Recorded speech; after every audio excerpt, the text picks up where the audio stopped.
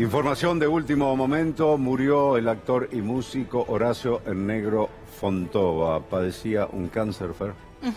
Lamentablemente falleció esta mañana a los 73 años. Como bien decís, Claudio, tenía cáncer. Todavía eh, no sabemos con precisión qué tipo de cáncer eh, padeció, pero sí que hacía tiempo estaba internado, que eh, su salud venía ya complicada y que mm, afortunadamente vamos a recordar como todos los artistas por, por todo lo que nos ha dejado, ¿no? Lo presentabas como músico, como compositor, como actor, bueno, porque era todo eso, no exploró una sola disciplina, sino que, que decidió ahondar en, en distintas ramas del arte.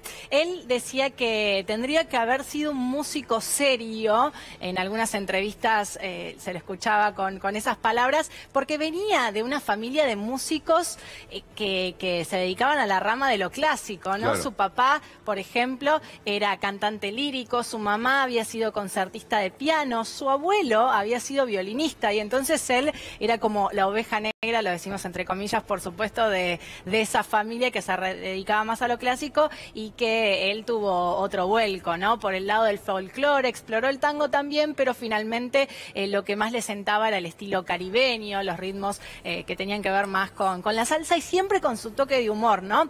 Eso con respecto a la música, pero si repasamos inconfundiblemente su, su expresión en televisión, sin duda ha sido ese dúo que, que hacía con Ginsburg, por supuesto, en Peores Nada, todos hemos visto algún sketch, alguna parte de la famosa Sonia Braguetti con la que además ha ganado en su momento dos Martín Fierro, eh, porque era uno de los programas más vistos de la televisión argentina, marcaron por supuesto un antes y un después en la manera de hacer humor y también exploró musicales eh, muy uh -huh. conocidos como Hair, como eh, Jesucristo Superstar. Bueno, eh, tuvo, tuvo muchas ramas de, del arte en las cuales exploró y además muy conocido, muy querido dentro de lo que tenía que ver con, con la cultura popular. 73 años, joven, por supuesto, para, para fallecer, pero lamentablemente padecía cáncer y estaba internado en el sanatorio Eh, Fino Quieto. ¿Hijos tenía Nero o no? No, el No. hijo, eh, no, no tenía hijos. No, no, bueno, por supuesto su pareja,